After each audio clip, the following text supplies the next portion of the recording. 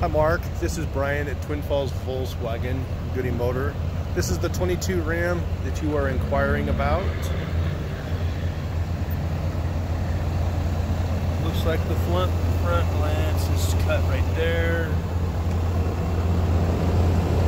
Other than that, looks pretty clean. There is no dents down the side that I can see.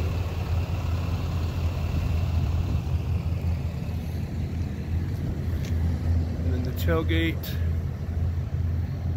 is good. And then this side is good.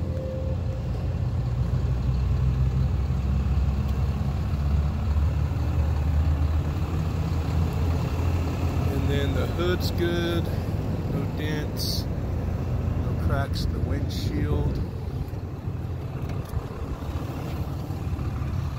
And then on top of the truck, there is no dents on top. Lights are all good. Interior wise, very clean. Weather mats, cloth seats, bench all your auxiliary lights, navigation. I like the shift on the floor. Personally, makes it nice. Interior is really nice. Smells smells new still. Back seat. Got the all-weather mats. Back seats. Big cargo area. Took out the box on the side. We used to have those carrier boxes, which were nice. Door opens up 90 degrees. Makes it easy to get in.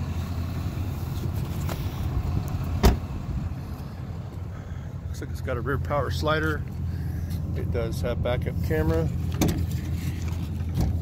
It does have your puck system to haul with.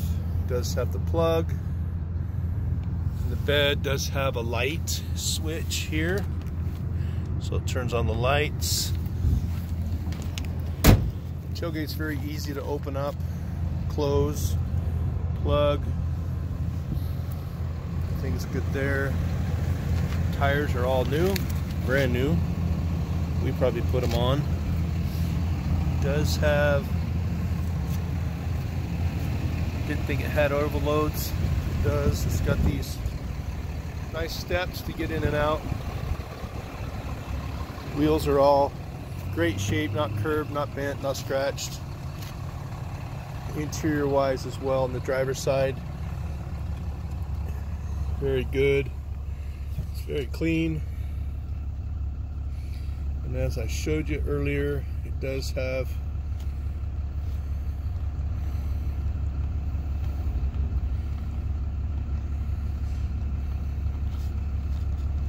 kind of hard to find vehicle info.